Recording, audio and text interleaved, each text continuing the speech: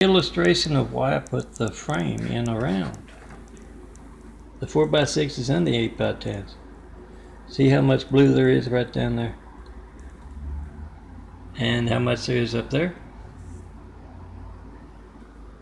So it's a good photo, uh, as it is. But, uh, you know, had, had I not uh, done this, there are photos that uh, will uh, lose a little more and take out part of the graphic art. So uh, that is why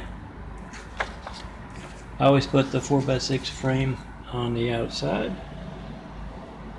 And you can tell everyone why I do that. It's uh, to keep the photo printer from cropping off some of gold here.